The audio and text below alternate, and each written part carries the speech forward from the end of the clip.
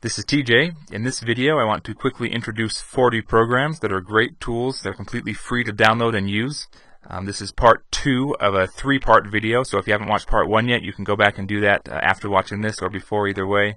Um, but by the time you've watched all three of these videos, you will have seen 120 programs that are open source, completely free to download and use programs. Um, most of them are open source. Um, and if you want to download them and try them out for yourself, you can find download links at my website, tjfree.com. There's also instructions there on how to download and install them and how to tutorials on how to use some of these softwares, some of these, some of this software. Um, this first program, Sumatra PDF, is a lightweight PDF viewer. Um, it also views other document types. Okular is a PDF viewer and um, also supports other document types as well. Lot, sort of a larger install file and not quite as lightweight, but cross-platform, whereas PDF, um, Sumatra PDF is Windows only.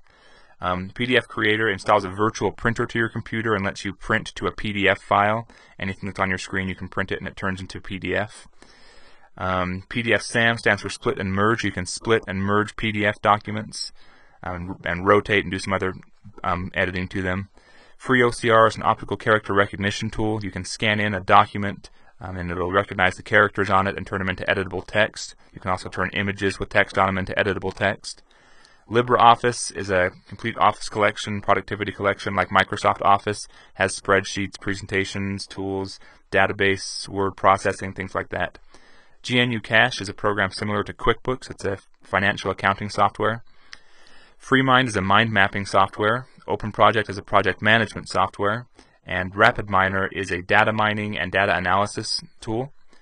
Um, the Ubuntu Live CD uh, is the Linux Ubuntu operating system that you can just boot directly from the CD. It's a great tool. I have it in this lineup because you can use it to retrieve data from computers that maybe you don't know the password to or that have operating systems that have crashed. TestDisk is a program that will let you undelete files and find files on your hard drive that have been deleted and restore them. Windows Directory Statistics um, visually represents all of the data on your hard drive and shows you the size and what file types they are and lets you visually see how the what how much space is being taken up on your hard drive and lets you kind of clean that up too if you want to. Agent Ransack is a Agent Ransack and DocFetcher both are programs that let you search documents, multiple documents on your computer and multiple files, and find words or phrases within them. OpenVPN is a virtual private network tool. Um, it lets you do uh, peer-to-peer remote access of other of other computers. OpenRemote is a home automation software. You can control things in your home or business using your smartphone or your laptop or a tablet PC. Big Blue Button is a collaboration tool. Um, you can have multiple video chat on it. You can share your desktop. You can do whiteboard tools. It's designed as an education tool. It's similar to GoToMeeting. Pidgin is a program, uh, multiple chat client program. You can chat on your MSN, Yahoo accounts, multiple accounts at once, um, just using the, the same tool. Um, Thunderbird is a email client similar to Outlook Express and Apple I, Apple Mail. Is that what it's called? Um, KeePassX is a program uh, for managing all of your passwords. It's a password manager. Uh, you just use one password to one password to rule them all. I guess you log in, and it stores all the rest of your passwords securely. Um, TrueCrypt is a encryption program. You can encrypt your entire hard disk or or a storage device. You can also encrypt just individual files on your computer. CrypTool lets you teaches you how to do cryptography. It lets you analyze cryptography and decrypt messages and create encrypted messages. Um, 7-Zip is a file archiver and compression tool. You can also use it to create encrypted archives. Eraser is a program that can securely delete sensitive data off your computer so it can't be ever be found again. Chromium is the open source version of the Chrome browser.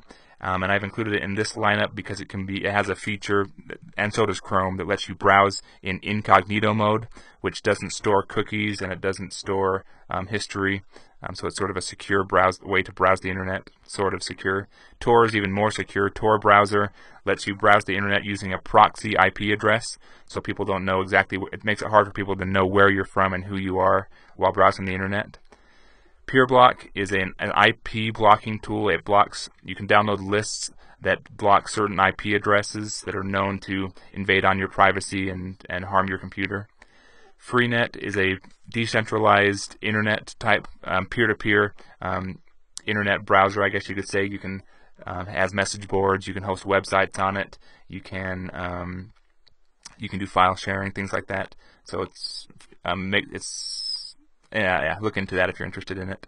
Um, BleachBit is a program for deleting sensitive data off your computer. It goes through multiple programs like your um, it clears all of your temporary files and all of your internet browsing files and things like that.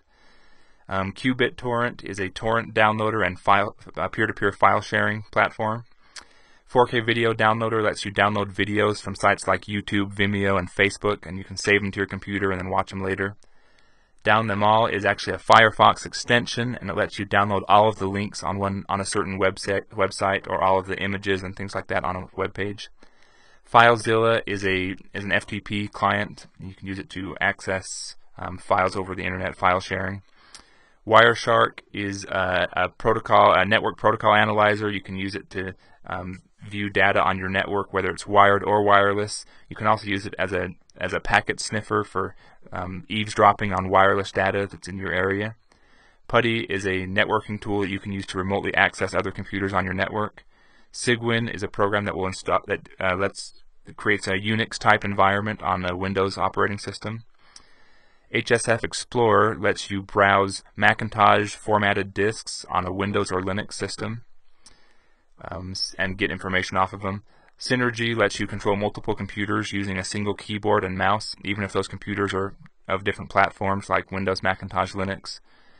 VirtualBox lets you create a virtual running machine on your computer that you can then um, host a different operating system on. For example, if you have Windows, you can use this to have an, an embedded virtually running Linux system also at the same time on your computer, and you can run multiple systems at once. Well, those are the programs in this video. Go ahead and watch video 3 if you haven't watched that one yet for more great free software. Um, visit my website for inf more information about these or watch my other videos where I do in-depth reviews of each one and kind of show you some of the features and how they work. Uh, so that's the video. Have a great day.